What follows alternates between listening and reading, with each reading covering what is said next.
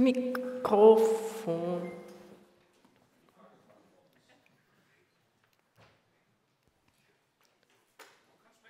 Kann ich sprechen? Ich kann sprechen. Also, ich hoffe, äh, ihr hört mich gut. Herzlich willkommen. Nicht so laut? Ähm, ja, ich versuche laut zu sprechen, sonst bitte irgendwie ein Handzeichen, wenn ihr mich nicht so gut hört. Ja, es geht los. Ähm, ich habe einen Vortrag eingereicht nach dem letzten Joomla Day, wo ich mir gedacht habe, es wäre mal gut, so ein bisschen auch in die Zukunft zu blicken und nicht immer nur die konkreten Probleme zu lösen. Ähm, und habe dann eingerichtet Joomla in zehn Jahren. Es ist jetzt die Keynote geworden. Das war so ein bisschen ja, Einstellung, eine neue Einstellung. Ja, ähm, zuerst kurz zu mir. Also mein Name ist Sigrid Gramlinger. Ähm, ich bin Gründerin der Joomla User Group Wien und Mitorganisatorin und Initiatorin des Joomla Day Österreichs. Habe ursprünglich Wirtschaftspädagogik studiert und mache aktuell aber eigentlich nur die technische Umsetzung von Webseiten und das mit WebGras. Und auch gemeinsam mit dem Peter Martin haben wir letztes Jahr zur Datenschutzgrundverordnung ein Tool gemacht und mit Data 2 Site wollen wir das Joomla Backend-Formular äh, ein bisschen vereinfachen. Ja, Joomla in zehn Jahren. Ich wollte zuerst ein bisschen zurückblicken. Ähm, vor zehn Jahren habe ich schon Joomla-Webseiten umgesetzt. Auf meinem ersten Joomla-Day war ich aber in Deutschland, äh, 2011, glaube ich, war das damals. Aber Joomla vor zehn Jahren ist jetzt ein bisschen privat. Da schaue ich noch ein bisschen anders aus. Meine Kinder ein bisschen kleiner. Unser Auto damals, ziemlich neu, ja. Mein Handy damals, ein ähm, Nexus S, das hatte so einen gebogenen ähm, ähm, Bildschirm, das konnte man super hinten in die Hosentasche einstecken. Wird jetzt mit den faltbaren Handys dann vielleicht wieder einfacher.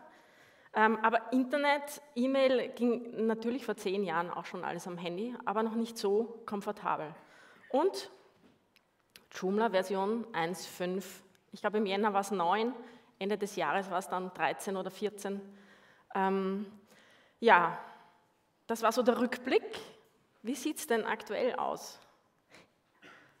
Die Kinder größer, ich ein paar Kilo schwerer.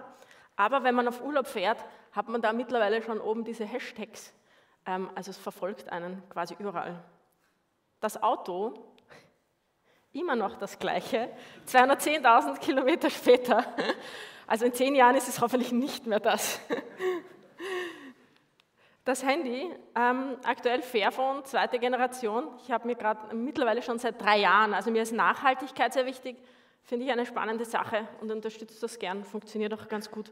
Fairphone 3 gerade rausgekommen, ich habe schon bestellt, aber ich habe es leider noch nicht, weil ich habe zu spät bestellt. Und aktuell Joomla Version 3.9.11, wo sich viel getan hat in den letzten Jahren. Ähm, Usability, äh, weiß ich nicht, kann ich gar nicht alles aufzählen. Ihr kennt das System, nehme ich an. Gut, dann jetzt Zukunft 2029. Wo kann es da hingehen? Und ehrlich gesagt, ich weiß es auch nicht. Fertig, nein. Nein, es gibt natürlich ähm, Themen, die, ähm, die uns in den nächsten Jahren mehr beschäftigen werden. Und ich habe ein paar rausgesucht, wo ich denke, dass die unsere konkrete Arbeit mit Webseiten ähm, beeinflussen werden, die uns weiterbringen werden, die uns auch unterhalten werden. Und habe jetzt versucht, da ein paar werde ich da jetzt benennen. Ja, gleich zum ersten. Ich in zehn Jahren. Oder vielleicht doch so. Das nächste finde ich richtig gut. Oder etwas amüsanter. Ja, also ich meine, das kann man mit jedem Handy heutzutage machen. Das sind jetzt mit Snapchat gemacht, geht mittlerweile mit Instagram auch. Und damit wären wir beim Thema Augmented Reality, also die erweiterte Wirklichkeit, ähm, die uns in vielen Bereichen jetzt schon, wo wir es noch nicht so richtig merken, eher auf eine spielerische Art auch ähm, äh, umgibt. Das Spiel Pokémon Go, kennen sicher alle, ist auch Augmented Reality, wenn ich durch die Landschaft laufe ähm, und dort dann die, die Taschenmonster suche. Es gibt jetzt neue Versionen und so weiter. Ein, also das sind auch Themen, die sind jetzt schon da und ein ganz interessantes ist, ähm, wie auch die nächste Generation damit umgeht. Mein Sohn hat vor mittlerweile schon zwei Jahren mich gefragt, ob er sich die Lego-App aufs Handy laden darf. Und ich habe gesagt, ja. Hm, dachte, kann man so Lego, was man machen kann, Lego-Sachen anschauen, okay. Und dann steht er irgendwie so beim Tisch mit dem Handy vor dem Lego-Katalog. Und ich habe ihn gefragt, was er da macht. Na, er schaut sich das am Handy an. Und man kann im Lego-Katalog fast auf jeder Seite mit dem Handy die Modelle in 3D anschauen und kann dann auch so rundherum gehen und sieht das, ähm, das, das Fliegen, das bewegt sich dann auch, da fliegt dann ein Flugzeug vorbei und so. Also so sehen Kinder das. Ich meine, für ihn war das total normal. Ich war irgendwie so sehr erstaunt, dass das so einfach geht. Ist allerdings jetzt wirklich schon zwei Jahre her. Ähm, ähm, habe jetzt nur im letzten IKEA-Katalog gesehen, dass die jetzt so mit QR-Codes auch arbeiten, was ich schön finde, weil das ist ja auch schon eigentlich eine ziemlich alte Technologie. Ja, ähm, Augmented Reality, wenn man es cool sehen will, also der Film Iron Man, wer kennt den?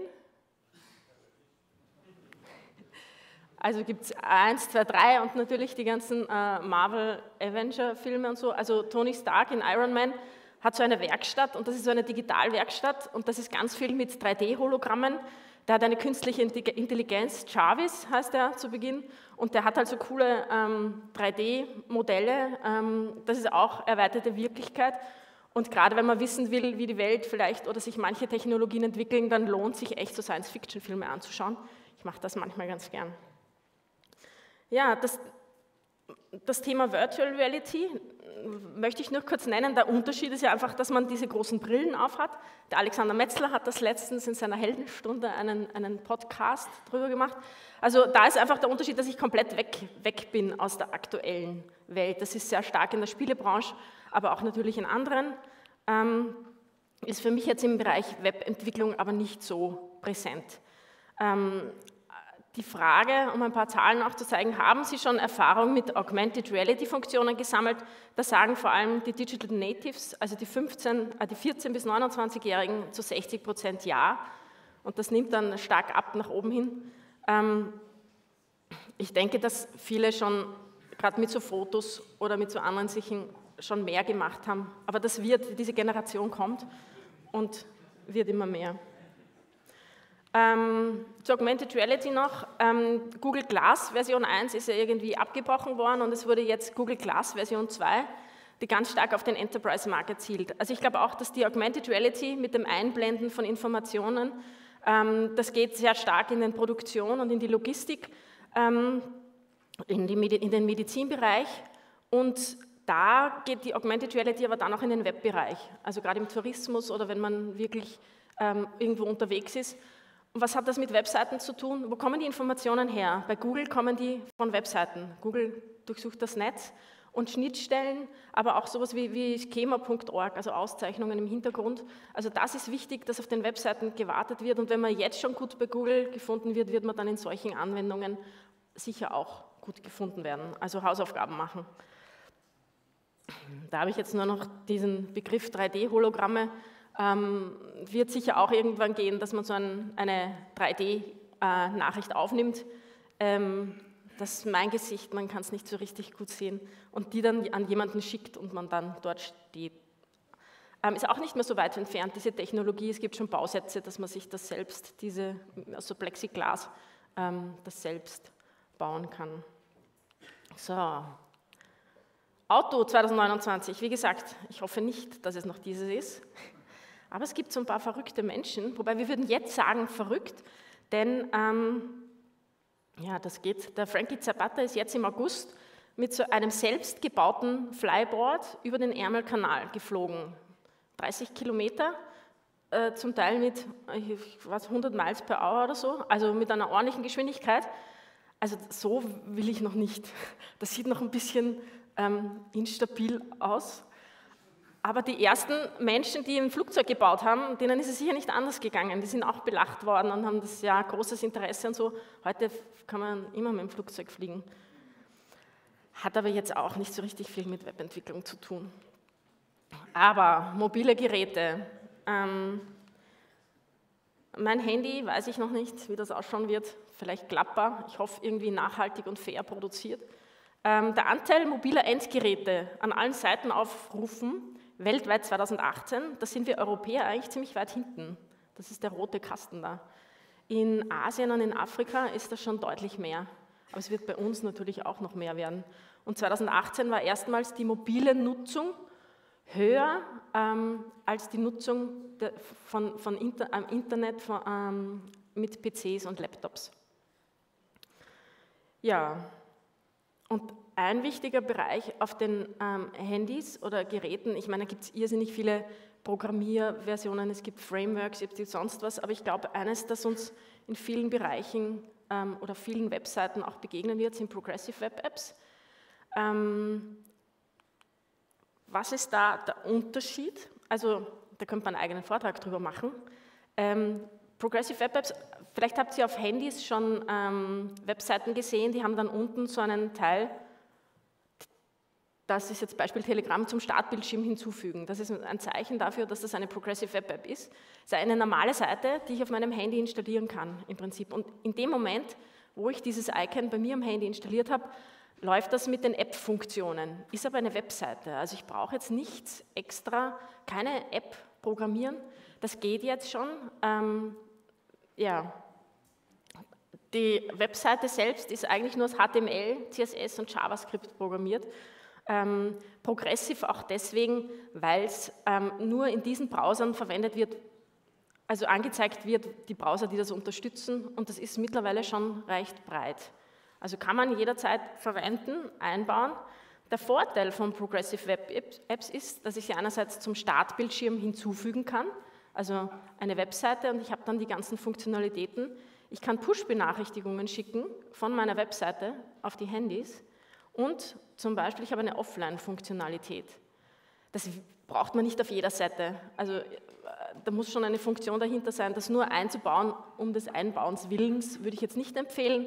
Aber in einem Online-Shop, wo ich dann mit Push-Benachrichtigung den Kunden informieren kann, ähm, ja, das Paket ist jetzt im Versand, das ist unterwegs und das kostengünstig schnell umzusetzen, das geht jetzt. Ähm, und das wird noch mehr werden. Also das ist auf jeden Fall ein Bereich, den man sich anschauen kann. Das war jetzt so ein Teil aus der, der Webentwicklung konkret.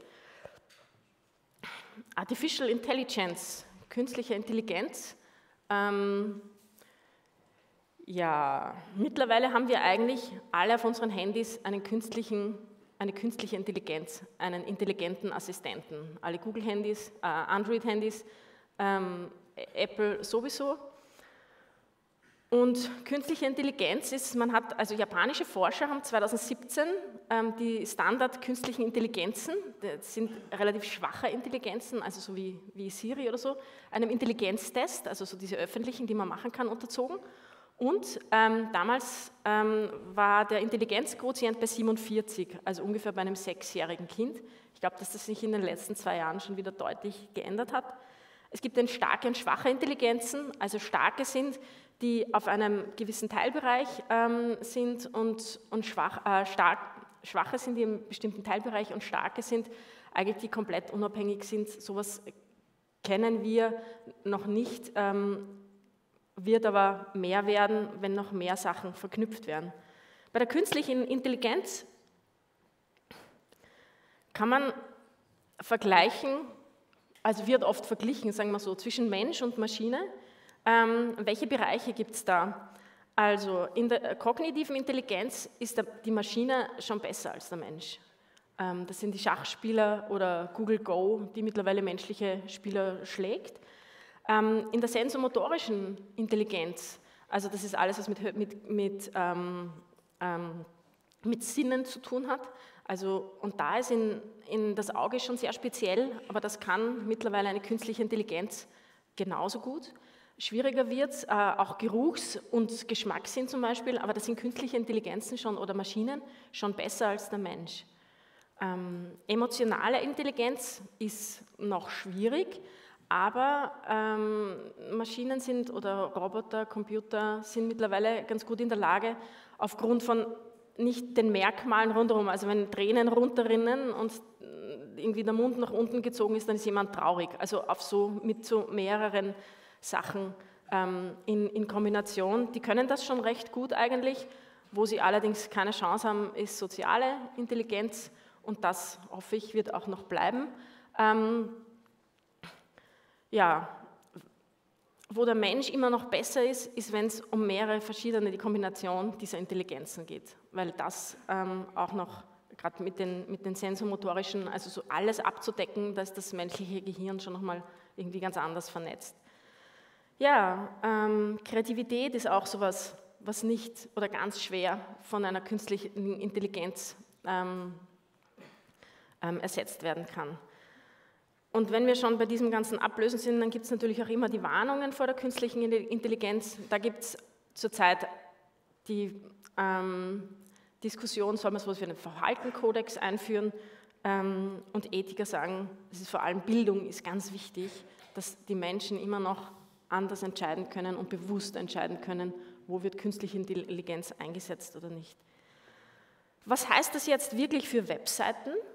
Ähm, künstliche Intelligenz für Webseiten. Also wenn ich auf eine Webseite gehe, in ein paar Jahren wird jeder eine andere Webseite sehen, weil im Hintergrund das für den User jetzt im Moment generiert wird. Aufgrund der Informationen, die man über mich weiß, über meinen Standort, über meine Vorlieben, über meine letzten Einkäufe und so weiter. Ähm, es wird die Möglichkeit geben, das wahrscheinlich abzuschalten. Dann wird aber wahrscheinlich immer die Information kommen, äh, du könntest ein so viel besseres Ergebnis sehen, ähm, wenn du das einschaltest. Also es wird schwierig sein, dem Ganzen zu widerstehen. Ähm, aber da geht es um diesen Verhaltenskodex, es sollte eine Möglichkeit sein, das nicht zu wollen. Künstliche Intelligenz im Webdesign. Ähm, ich habe ein bisschen gebastelt und habe mir überlegt, wie wäre es denn eigentlich, wenn jemand anderer für mich eine Joomla-Webseite erstellt? Schon, dass das geht.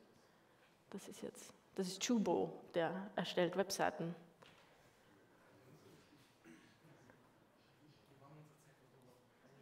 Ist praktisch, ne? Menüpunkte angelegt. Ah, und der weiß auch sofort, was ich eigentlich mache. Bin Dienstleisterin und das ist jetzt ein bisschen schnell. Also der weiß auch, dass ich, dass ich Dienstleisterin bin und ähm, erstellt mir da dann ähm, meine Webseite im Hintergrund, ähm, fügt Texte ein, die optimiert sind, ähm, verlinkt mich schon mit wichtigen Informationen. Ähm, dann fragt er mich, was soll die Webseite noch kennen? Brauche ich einen Login-Bereich für meine Kunden? Nein, kein Login-Bereich. Ein Kontaktformular vielleicht? Ja, dann einen Moment bitte. Natürlich macht ein Kontaktformular auch mit Spam-Schutz, sondern richtet alles ein. Domain, Datenbank, Konfiguration, alles Menü, Hintergrundbild. Da bin ich wieder fertig. So, haha, wäre doch cool, oder?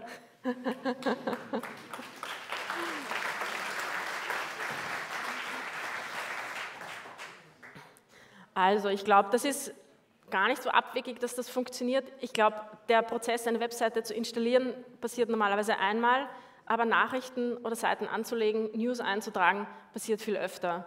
Also ich glaube, dass für solche Aufgaben Sinn macht oder Sinn machen wird oder es Spaß macht, sowas zu verwenden ähm, und damit den Usern wirklich ja, die Arbeit zu erleichtern, das tägliche. So, künstliche Intelligenz in Usability.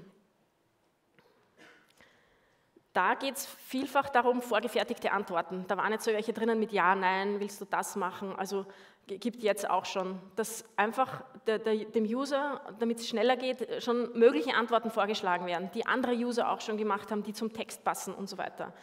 Das wird noch mehr werden, gibt es jetzt schon in Ansätzen. Ähm, und Chatbots, die sich aktionsbezogen einschalten. Also der merkt, ich hänge da jetzt in dem Warenkorb seit zehn Minuten fest, dann fragt er mich vielleicht, ähm, willst du eine kürzere Lieferzeit oder weiß ich nicht, Optionen, die ich noch nicht gesehen habe. Ähm, wirklich so anlassbezogen. Künstliche Intelligenz in der Webentwicklung. Da geht es darum, auch Algorithmen zu kennen. Ähm, das können künstliche Intelligenzen sehr gut, Codeschnipsel einzufügen und dann Talk Code to me. Ja, das wird noch mehr also das wird kommen in Bereichen ähm, und der Code wird auch besser werden, ähm, wenn das dann noch verbreitet ist und auch noch einfacher funktionalisiert, funktioniert. Künstliche Intelligenz in der Suchmaschinenoptimierung. Ähm, da geht es vor allem um Big Data und Data Mining, ähm, Fehler auf Webseiten, die viel schneller gefunden werden, die vorgeschlagen werden von Tools. Ähm, ja, Und Content Creation natürlich, also dass wirklich der Inhalt dann schon optimiert ist, ich nochmal Vorschläge bekomme und ähm, künstliche Intelligenz im Marketing, wo wirklich die Ads dann schon direkt noch einmal auf den User in dem Moment ausgespielt werden, wo der die Webseite besucht. Und die Chance ist, dass das noch wirkungsvoller ist. Sicherheit und Datenschutz kann nur so gut sein, wie wir das auch wollen. Ich glaube, da gibt es noch viel. Ähm, was wir konkret machen können, ist einfach ähm, uns zu informieren, auf dem neuesten Stand zu bleiben, Updates zu machen, sich auszutauschen, Netzwerken ähm, und dann für ein faires Web einzustehen und auch Stimme zu erheben, wenn es dann um Petitionen geht, wenn es um Kodex, um einen Kodex geht, der vielleicht veröffentlicht wird, verabschiedet wird, das zu unterstützen. Also, ja, Joomla in zehn Jahren, schauen wir mal, wie es wird. Ich hoffe, wir sehen uns dann wieder am Joomla Day in zehn Jahren. ähm, ja, noch, das war noch meine Tat. Ich werde die Folien dann auch online stellen und wünsche euch einen guten Joomla Day.